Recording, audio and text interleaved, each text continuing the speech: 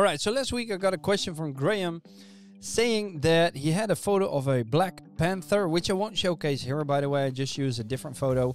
But he said he wanted everything black and white except for the eyes. So I figured, why not make a video about that? I already sent him the result, but let me show you how I achieved that, right? So this is JPEG, so I don't have to do all the basic editing. So I'm just going to go to the color calibration module. I'm going to activate that one and let's use the gray tab, right? Let's activate it. Now, if you want to know what all of these sliders do, then be sure to check out this tutorial because I have actually created a dedicated video on it. But this video is about just preserving the colors of the eyes.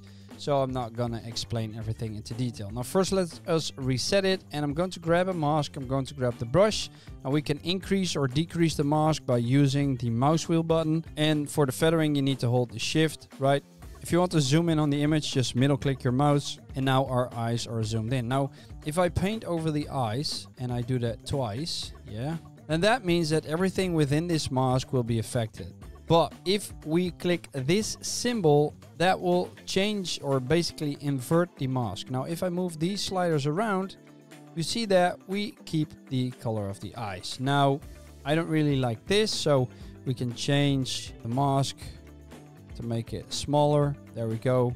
Same here. Now to make this even better, just decrease the mask opacity and the mask contrast and you can see over here that now the eyes are being isolated from the rest of the image, right? Now let's zoom in again and let me show the mask by clicking this symbol. This needs to decrease, so you can do that by just scrolling your mouse wheel button or dragging these points in. There we go, that looks a lot better. Now let's say you want to change the colors of the eyes or you may want to make them pop.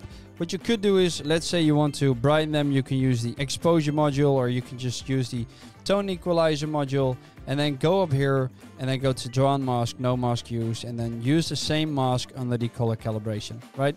And then if you increase it and you see before and after, you see that the eyes now stand out a lot more, right?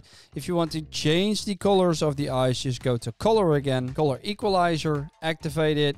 Make sure you select this symbol, which is the color picker, place it here. That will show you where the colors are. Now, if we move this one, that will make sure that our node lines up with the exact color that we want to change. Right now we're in the saturation. We need to go to the hue tab and then if I drag this upwards, you see that the color of the eyes has now changed. Same if you move it downwards, it gives a total different color. Now, this is how you can create a monochrome image and still have some selective coloring in it.